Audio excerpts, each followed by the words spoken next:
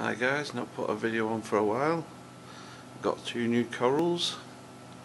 My uh, cleaner shrimp died.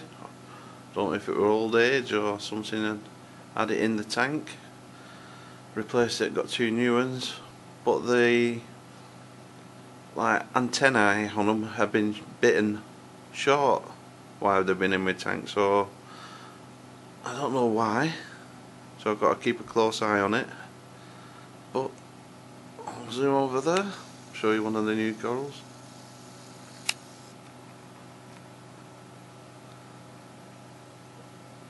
Some toadstools.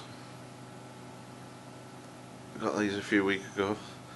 One of them is uh, breaking off into another one there, as you can see on the edge of it. It's getting a stem growing downwards. It was just a piece of the mantle part and now it's getting a stem growing down. So it's going to produce another third one.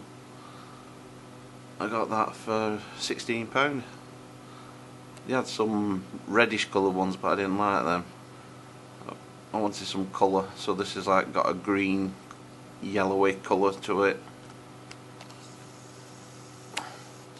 The other thing I've got is trying to find it it's tucked in down there. It's a bird's nest. I've had to put it down there because the two big fish kept knocking it everywhere I put it. As you can see they like going around there so I've got a bird's nest tucked in down there so I'll not knock it, just let it grow there. That cost me uh, something like £15 yeah, the shrimps, you can just about see part of it down there moving. That's one of them, and down there. I don't know what's whether it's they've been fighting between each other or one of the fishes has been having a go. If it was, I would have had a guess, the fox face, but someone said it could be the brittle star. I don't know. Just haven't a clue what's been having a go with them.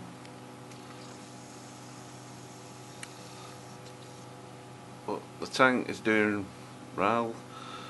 Gravel's getting uh, brown looking but corals are doing fine. The fish are doing fine.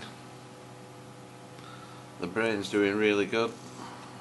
Just try and get a close up on the brain. Green brain.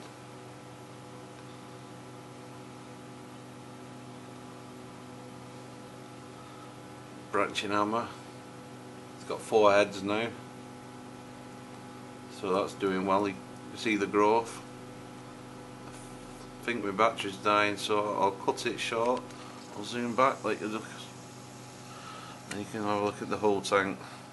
Right, I'm going to cut this short because there's a battery. Laters.